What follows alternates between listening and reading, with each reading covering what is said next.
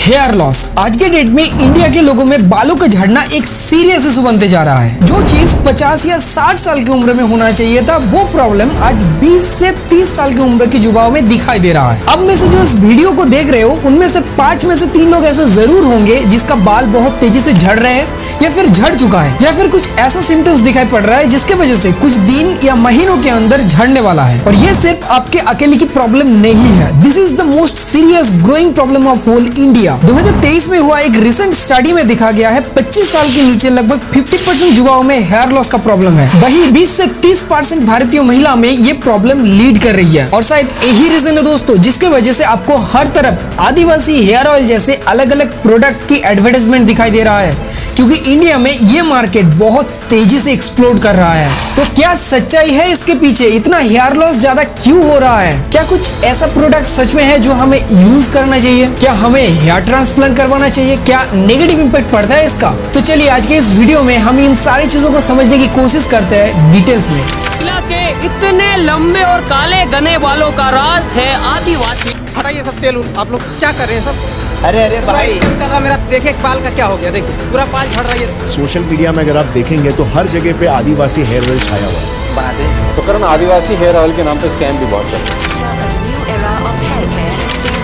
बड़ा popular trend है आदिवासी oil का आदिवासी तेल का।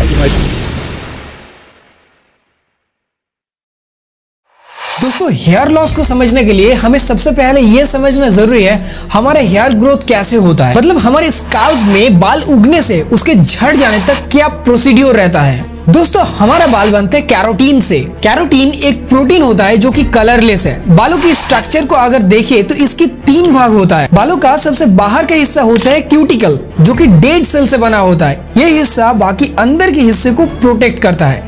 ठीक इसके अंदर वाले हिस्से को कहा जाता है कॉटेक्स ये बना होता है कैरोटीन से, जो कि बालों के स्ट्रेन देता है एंड इलास्टिक बनाता है। इसके बाद सबसे अंदर वाले हिस्से को कहा जाता है मेडुला जो कि बनता है ट्रांसपेरेंट सेल से। ये हिस्सा बेसिकली थिक हेयर में ही देखने को मिलता है। दोस्तों हेयर ग्रोथ बेसिकली चार फेजेस में होते हैं। मतलब जैसे हमारे जन्म से लेकर हमारे मरने तक कई सारे फेसेस रहते हैं, ठीक वैसे ही बालों के उगने से झड़ने तक का एक पूरा साइकिल रहता है। अगर ये साइकिल पूरा नहीं होता है तो बाल बहुत तेज़ी से झड़ने लगता है। Number one anagen phase anagen phase के दौरान बेसिकली एपिडर्मिस के नीचे मतलब मान लीजिए स्काल्प के नीचे हेयर फॉलिकल्स का ग्रोथ होता है, जिससे हमारा हेयर बहुत छोटे से धीरे धीरे बढ़ने लगता है और हेयर एपिडर्मिस के बाहर आते हैं।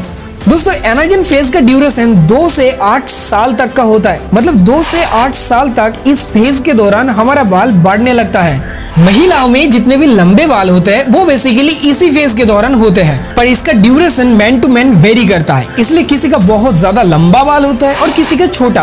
क्योंकि एनाजेन फ़ेज़ खत्म होने के बाद बालों का बढ़ना स्टॉप हो जाता है। एक मज़े की बात पता है? हमारे बॉडी में स्कल फेयर के अलावा जितने भी और बाल होते हैं जैसे कि हमारे आँखों के ऊपर की ये बाल या फिर पूरे बॉडी में जो हेयर रहता है, उनका एनाजेन फ़ेज़ कुछ 30 से 45 डेज़ का होता है। मतलब 30 से 45 दिन तक ग्रोथ होने के बाद ये हेयर और ज़्यादा नहीं बढ़ते और इसीलिए स्कल हेयर के अलावा हमारे बाकी बॉडी हेयर बहुत छोटे छोटे होते हैं। एक महीने में लगभग एक सेंटीमीटर तक बढ़ते हैं। मतलब 0.3 to 0.4 millimetre per day number two catagen phase anagen phase में हेयर ग्रोथ होने के बाद ग्रोथ बिल्कुल रुक जाता है। इस फ़ेज़ को कहा जाता है दोस्तों कैटाजिन फ़ेज़ इस फ़ेज़ के दौरान हेयर फॉलिकॉल डार्मल पेपिला से डिटेच हो जाता है। दोस्तों डार्मल पेपिला हेयर फॉलिकल के ठीक नीचे होता है। मतलब आप कह सकते हो हमारा बाल उगते हैं डार्मल पेपिला से ही। डार्मल पेपिला बेसिकली बनते हैं कनेक्टिव टिश्यू से एंड कैपिलरी लूप से। इनके थ्रू बालों में न्यूट्रिएंट्स एंड बहुत सारे सिग्नल्स पहुँचते हैं जो कि हेयर ग्रोथ में मदद करता है। एक चीज़ मैं आपको यहाँ पर ज़रूर बताना चाहूँगा दोस्तों डार्मल पेपिला और एक हेयर के बीच में रहता है मैट्रिक सेल्स इन मैट्रिक सेल्स के ग्रोथ के वजह से ही हमारे बाल लंबे होते हैं, बड़े होते हैं। तो कैटाजिन फ़ेज़ के दौरान हमारा हेयर डार्मल पेपिला से अलग हो जाता है, साथ ही साथ हेयर मैट्रिक सेल्स का ग्रोथ भी रुक जाता है और इसीलिए हेयर को नेसेसरी न्यूट्रिएंट्स एंड सिग्नल्स नहीं मिल पाते एंड हेयर ग्रोथ रुक जाता है। इस फ़ेज़ का ड्यूरेशन होता है लगभग दो से तीन हफ़्ते। इसके बाद हेयर एकदम लास्ट स्टेज या रेस्टिंग स्टेज में चला जाता है। Number three telogen phase catagen phase के बाद हेयर अपना लास्ट स्टेजेस में आते हैं। इसको कहा जाता है टेलोजेन फ़ेज़ इस फ़ेज़ में आने के बाद हम कह सकते हैं एक हेयर मेच्योर हो गया है। एंड अब ये बाल झड़ने वाला है। इस फ़ेज़ को रेस्टिंग फ़ेज़ भी कहा जाता है। इसका ड्यूरेशन होता है लगभग दो से तीन महीने। और एकदम लास्ट में एक्सोजन फ़ेज़ में हमारा बाल पूरी तरीके से सर से झड़ जाता है। और साथ ही साथ उसी हेयर की रिप्लेसमेंट में और एक नए बाल उगने की शुरुआत होता है एनाजन फ़ेज़ से। मतलब इससे आप समझ सकते हो दोस्तों, हमारा हेयर साइकिल पूरा होने में लगभग छह से आठ साल का समय लगता है। मतलब छह से आठ साल तक एक हेयर नॉर्मली हमारे सर में रहता है। पर अगर किसी कारण की वजह से ये हेयर साइकिल पूरा नहीं होता है डिस्टर्ब होते हैं तो सारे फेजेस कंप्लीट नहीं हो पाते एंड तब बहुत तेज़ी से आपके बाल झड़ने लगता है। नॉर्मली 25 से 100 बाल हर दिन हमारे सर से गिरता है। पर हेयर फॉल के दौरान इससे कई गुना बाल हमारे सर से झड़ जाता है। तो फिर दोस्तों, क्या रीजन इसका? क्यों आपके सर से इतने तेज़ी से बाल झड़ रहे हैं और क्या इसका एग्जैक्ट ट्रीटमेंट है? आइए बात करते हैं। पर इससे पहले चलिए आपको एक फन फैक्ट बताता हूँ। 2024 में दुनिया के सबसे लंबे बालों के ग्रीनिच वर्ल्ड रिकॉर्ड है लेटिवा के रहने वाले आलिया नेसरोवा के पास। इनके बाल लगभग 8 फीट लंबे हैं। वैसे ये रिकॉर्ड लिविंग वुमेन के ऊपर है। 2023 के नवंबर तक ये रिकॉर्ड भारत की यूपी के रहने वाला स्मिता श्रीवास्तव के पास था। इनका बाल थे लगभग 7 फीट, लगभग 13 साल की उम्र से ये अपना हेयर लंबा कर रहे थे। खैर आप आते हैं हमारे मेन टॉपिक के ऊपर। दोस्तों हेयर लॉस का रीजन बहुत सारे हो सकता है। Number one genetic factor androgenetic alopecia या pattern baldness is largely influenced by genetics and is a common cause of hair loss मतलब हेयर लॉस का एक मेन रीजन है androgenetic alopecia number two hormonal imbalance hair loss का एक main reason है hormonal imbalance hormonal fluctuation के वजह से पर्टिकुलरली डीएचटी मतलब डाईहाइड्रोटेस्टेस्टेरोन हेयर लॉस में एक सिग्निफिकेंट रोल प्ले करते हैं। इसके अलावा भी polycystic ovary syndrome and thyroid disorder के वजह से भी स्पेशली महिलाओं में हेयर लॉस होते हैं। Number three lifestyle and environment दोस्तों, आज के डेट में stressful lifestyle and environment pollution hair loss का एक बहुत बड़ा कारण बनते जा रहा है। आप में से जितने लोगों का भी बाल गिर रहे हैं, उसका मेन एक रीजन है poor diet and high stress level इसके साथ ही साथ रात में अच्छे नींद नहीं आना। आज के डेट में लोग इतना ज़्यादा डिप्रेशन में रहते हैं एंड रात में अच्छे से नींद नहीं लेते। इसके वजह से हमारे बॉडी पार्ट्स के डैमेजेस रिकवरी नहीं होते। बेसिकली जब हम रात में सोते हैं, तब हमारे बॉडी रिलैक्स मोड में आते हैं। नर्वस सिस्टम हल्का होते हैं। एंड जो भी बॉडी में डैमेज टिश्यूज है, उसका रिकवर किया जाता है। और इसीलिए अच्छी नींद क्वालिटी नींद सिर्फ़ हेयर के लिए नहीं, बल्कि पूरे ह्यूमन बॉडी के लिए बहुत ज़्यादा ज़रूरी है। Number four nutritional deficiencies hair loss की एक मेन रीजन है शरीर में न्यूट्रिएंट्स एंड एसेंशियल्स विटामिन की कमियाँ। जैसे शरीर में biotin iron zinc and vitamin A and D के कमी की वजह से हेयर थिनिंग होते हैं। मतलब बाल पतले हो जाते हैं और हेयर लॉस का कारण बनते हैं। Number five medical condition and treatments कुछ स्पेशल मेडिकल कंडीशन में जैसे cancer high blood pressure and कुछ ट्रीटमेंट लाइक केमोथेरेपी जैसी कंडीशन में हेयर फॉल स्वाभाविक है। दोस्तों हेयर फॉल को लेकर बहुत सारे मीथ जुड़ा हुआ है। मतलब आते जाते आप लोगों के मुँह से ये सुनते रहते हो, पर ये बिल्कुल भी सच नहीं है। जैसे कहा जाता है बार बार बाल धोने से हेयर फॉल होता है। ऐसा नहीं है दोस्तों बार बार बाल धोने से नहीं, बल्कि बाल धोने के वक्त आप जो हर्ट्स शैम्पू यूज़ करते हो, जिसमें सल्फेट्स पैराबिन सिलिकॉन या अल्कोहल होते हैं, इन केमिकल्स की के वजह से आपके बाल गिरते हैं। दूसरा कभी कभी कहते हैं, सर में टोपी या हेलमेट पहनने की वजह से हेयर फॉल होता है। पर सच तो यह है दोस्तों, इसका हेयर फॉल के ऊपर कुछ भी सिग्निफिकेंट इम्पैक्ट नहीं है। पर डाटी कैप या क्लॉथ स्कल्प इन्फेक्शन का कारण बन सकता है। हेयर लॉस के ऊपर अगर रिसेंट डेटा की बात करें तो इंडिया में अप्रोक्सीमेटली 63.2 परसेंट लोगों में हेयर फॉल का प्रॉब्लम है। एंड इसी वजह से पूरे ग्लोबल मार्केट का 14.3 परसेंट ह्यूमन हेयर सिर्फ़ इंडिया से ही एक्सपोर्ट किया जाता है। यूनाइटेड स्टेट्स में 56 मिलियन इंडिविजुअल्स लोग हेयर लॉस एक्सपीरियंस कर रहा है। चाइना में लगभग 250 million people currently experiencing hair loss South Korea में अप्रोक्सीमेटली 61.8 परसेंट लोगों में हेयर प्रॉब्लम है।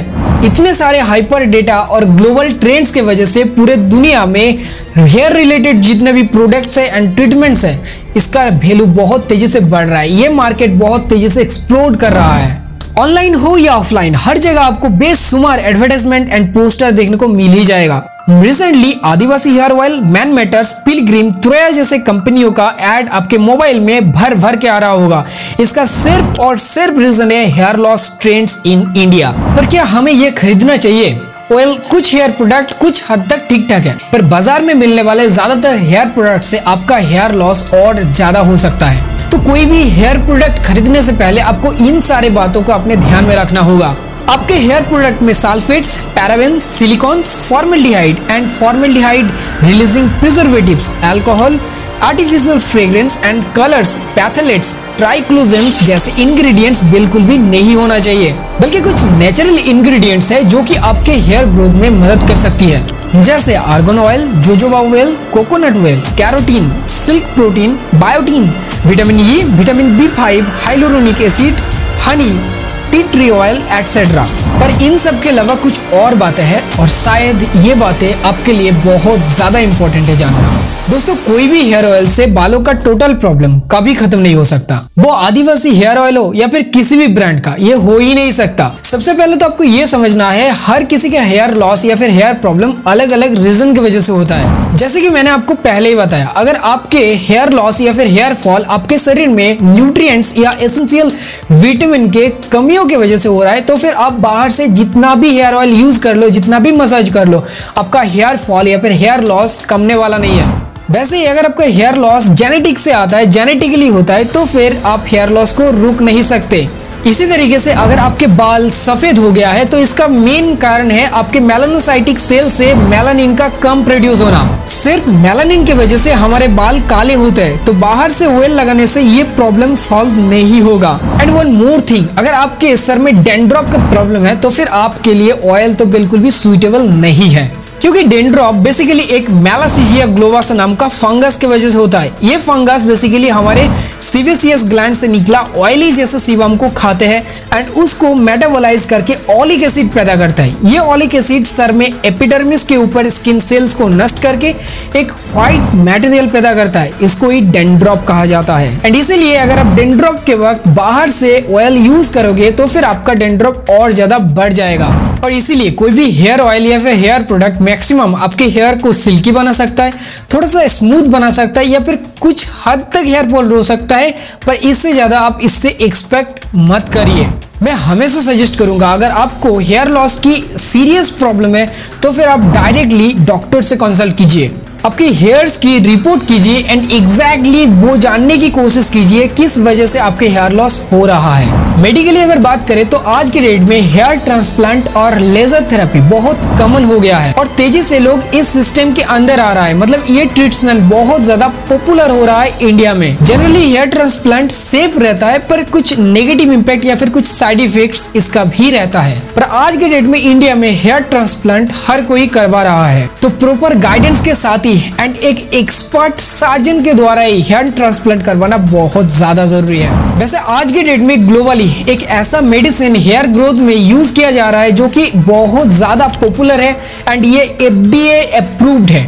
एफडीए मतलब फ़ूड एंड ड्रग एडमिनिस्ट्रेशन दोस्तों, इसको कहा जाता है मिनोक्सीडिल जो कि एक भैंसो डायलेटर होता है एंड हेयर फॉलिकॉल में ब्लड सर्कुलेशन इंक्रीज करके हेयर ग्रोथ में मदद करता है। इसका इस्तेमाल अभी काफ़ी हो रहा है, ये बहुत ज़्यादा पॉपुलर हो रहा है और ये अभी तक बहुत ज़्यादा सेफ़ माना जा रहा है। ऑल कुछ कॉमन साइड इफ़ेक्ट इसका भी है। मैं नीचे डिस्क्रिप्शन पर इनके बारे में और ज़्यादा इन्फॉर्मेशन आपको प्रोवाइड कर दूँगा तो ज़रूर चेकआउट कर लेना। इसके साथ ही साथ लेजर थेरेपी और हेयर ट्रांसप्लांट को लेकर जितने भी सारे क्वेरीज है आपके, वो सारे मैं डिस्क्रिप्शन पर ऐड कर दूँगा। तो इसको चेकआउट करना बिल्कुल मत भूलना। अगर इन सारी चीज़ों के बारे में आपको और ज़्यादा जानना है तो फिर आप हमारे साथ जुड़ सकते हैं। हमारे व्हाट्सएप चैनल पर आप ज्वाइन कर सकते हो, या पर कमेंट कर सकते हो, या फिर डायरेक्टली आप हमारे इंस्टाग्राम पर मैसेज कर सकते हो। मैं हमेशा रिप्लाई करता हूँ। अगर आपको इन्फॉर्मेटिव कंटेंट पसंद है वैल्यूबल कंटेंट पसंद है तो फिर ये चैनल आपके लिए ही है। यहाँ पर आपको बहुत सारे ऐसे वीडियोस मिलेगा जो कि आपके काम आ सकता है और बहुत ही ज़्यादा मज़ेदार है। तो इसके लिए आप हमारे साथ जुड़ सकते हो चैनल को सब्सक्राइब करके। और हाँ वो जो साइड में रखा हुआ घंटी है ना, उसको दबाना बिल्कुल भी मत भूलना, क्योंकि अगर आप उसको दबाएँगे तो फिर मेरा वीडियो सबसे पहले आप देख पाएँगे। प्रोफेशनली मैं एक टीचर हूँ एंड मेरे सारे वीडियोस एजुकेशनल बेस्ड होते हैं। आपको ये कंटेंट कैसा लगा, ज़रूर कमेंट करना, क्योंकि इसके पीछे बहुत ज़्यादा रिसर्च है एंड हार्डवर्क है। अगर आपको ये वीडियो सच में पसंद आया तो उस वीडियो को ज़रूर एक लाइक कर देना, लोगों के साथ शेयर करना और हाँ कमेंट ज़रूर करना। क्योंकि आपके छोटे छोटे लाइक्स कमेंट्स की वजह से हमें बहुत ज़्यादा पॉजिटिव वाइब्स मिलता है मोटिवेशन मिलता है ऐसे ही एडुकेशनल वीडियोस और ज़्यादा बनाने में वरना एंटरटेनमेंट के वीडियोस तो हम भी बना सकते थे। खैर आज के लिए इतना ही। मिलती है उसकी नेक्स्ट वीडियो में। तब तक के लिए आप स्वस्थ रहिए सावधान रहिए। जय हिंद जय भारत।